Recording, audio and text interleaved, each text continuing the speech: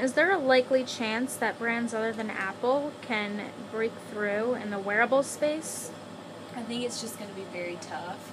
Um, each wearable that you see come out, they, they don't vary from each other too much. And, uh, you know, the rumors of Apple, um, everyone's just tirelessly awaiting them. I think that Apple is so renowned that they're going to come out with something that's just completely innovative and trumps all other products. Um, but it's like brands just can't help getting in the movement because they want to offer a similar product, but um, in the end, they're just lacking innovative ideas and features. Um, so even though the smartwatch is competitive with it with other smartwatches, it's not completely new and